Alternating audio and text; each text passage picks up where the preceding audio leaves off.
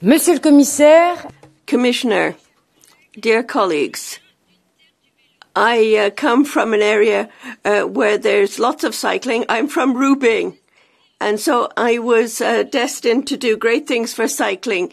I'm sure you all know the Paris-Roubaix race and you'll be familiar with the Tour de France as well, the Tour de Flandre, the Tour of Lombardy, and all the other races. Uh, uh, uh, cycling is a very popular sport in Europe, but above all, it's a method of transport, and we have to look at that. An electric bike is uh, the most uh, a reliable mode of transport for a distance of one to uh, 10 kilometres, and it's reliability that counts. People can get there on time and uh, at a good speed.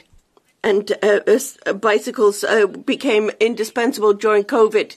Uh, people were calling these corona routes when public transport was a risk.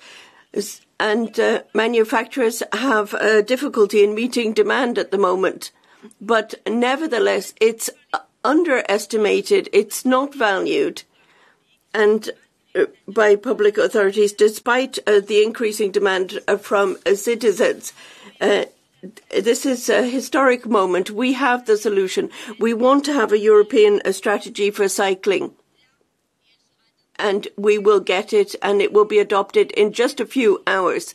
And it was uh, developed in the Transport Committee that I chair. It had the unanimity of all of the groups and also uh, the Commission, which is forward looking. We need to send a clear message we need to double the use of uh, cycling by 2030 by uh, developing safe infrastructure and also making it possible uh, for people to go to work, drop off their children, and do all of their activities using bikes. Um, we need to have links with uh, transport. We need uh, secure parking, and uh, we need more places for bikes in trains. Um, we need to have a reduced VAT. We need to have a, a travel expenditure for cycling